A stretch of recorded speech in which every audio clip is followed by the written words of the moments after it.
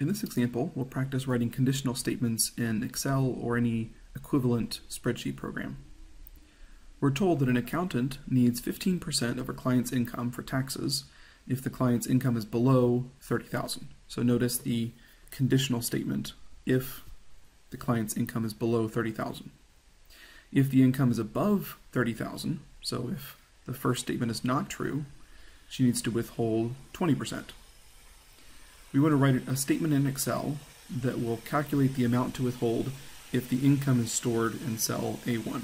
So A1 is the income, and we want to write a conditional statement.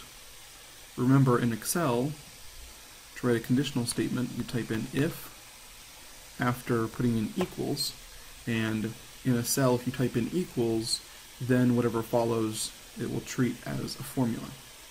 So we use the word if, and then in parentheses, we put first the condition,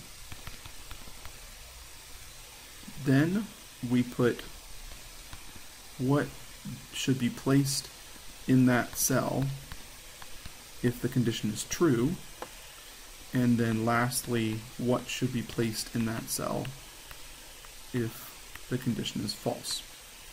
So the condition we're going to have here is the, in, the client's income being below 30,000.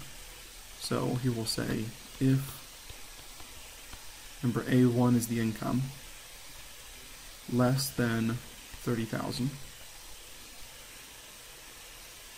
If that's true, if the client's income is below 30,000, then we need to withhold 15%. So the amount that we'll withhold is 15% of the income, 15% of A1, which would be 0.15 times A1.